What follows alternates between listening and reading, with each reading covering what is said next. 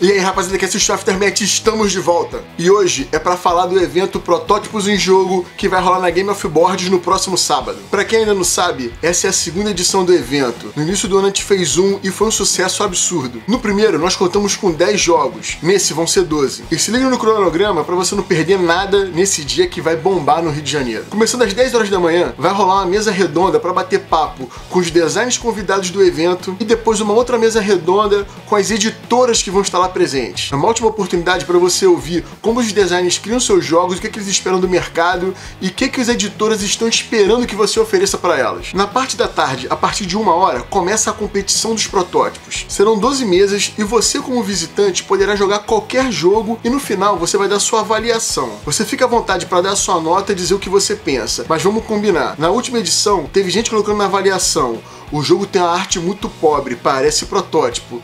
Meu amigo, é um evento de protótipo. Tu não quer chegar lá e encontrar jogos com arte final, né? Às 6 horas da tarde vai terminar a fase de competição e logo depois vai rolar um sorteio. As editoras participantes do evento enviaram vários jogos. Vai ter Seafall, Dead of Winter, Medievalia, Port Royal, Rock'n'Roll Manager, Casting Guns, Zona Mágica. Vai ter um monte de jogo para sortear entre os participantes do evento. Então, fica lá até o final para ver se você vai levar algum joguinho para casa. Depois do sorteio vai ter a entrega da premiação. Um dos parceiros do evento é a Game Maker. Para quem ainda não conhece, ela é uma gráfica especializada em confecção de jogos de tabuleiro. E ela ajudou a gente a distribuir quatro prêmios, três para o júri especializado e um para o júri popular. No júri especializado, o primeiro colocado leva 300 reais em crédito na Game Maker, o segundo 200 e o terceiro 100 reais. E o jogo mais votado entre os populares leva 200 reais de crédito na Game Maker. Meu amigo, é uma ajuda absurda para você que está começando com o seu protótipo. Vamos falar agora um pouco dos jogos que vão participar desse evento. A Queda é um jogo do Leonardo Aires com a Fernanda Zamif. Quem não conhece a Fernanda, no especial de Dia das Mães, ela deu um depoimento pra gente de como ela trata o jogo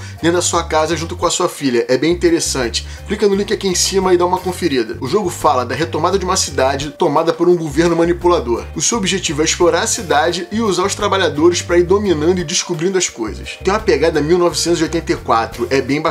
O próximo jogo é o Canárias 1402 do Jaime Sinclair. É um jogo ambientado nas grandes navegações que fala sobre as explorações das Canárias pelo governo espanhol. Outro jogo indicado é o Cangaço do Sandro Virgulino. O jogo rola na época do Cangaço, do Lampião, e ele é um set collection com draft de cartas. Seu objetivo é se tornar o rei do cangaço. Folia é um jogo do designer Luiz Paulo. Nele, você é presidente de uma escola de samba e tem que organizar todo um desfile, desde os ensaios até o desfile na Sapucaí. Outro jogo escolhido é o Rei Devolvam Minha Vaca, do design Rock Gabardo. Nele, cada jogador pilota um disco voador e tem que abduzir vacas, fazer desenhos e plantações de milho e tentar impressionar um terráqueo fazendo contatos imediatos. Luna Mares é do design Ricardo Amaral. É um jogo onde você coordena uma equipe onde tem que colonizar a Lua, explorando seus recursos naturais e enviando para a Terra. Mikasa Sukasa é do Rodrigo Rego. É um tile placement onde você tem que montar uma casa e atrair moradores para ela. Outro jogo escolhido foi o Mundos Imperial do José Roberto. É um jogo de tile placement com área control ambientado no Brasil colônia. Seu objetivo é se tornar imperador da Terra Brasilis. Slow Motion é do designer Leandro Pires. É uma corrida de lesma e cada jogador tem que apostar em qual vai ganhar e usar as cartas para gerenciar o movimento delas. Sobrevivência na Amazônia é um jogo do design Roberto Tostes. Cada jogador salta de paraquedas em cima da floresta amazônica e precisa sobreviver, recolher outros itens, montar acampamento. Você também tem que registrar os animais que estão em extinção. Teotihuacan é um jogo do Roberto Pinheiro. Cada jogador é um construtor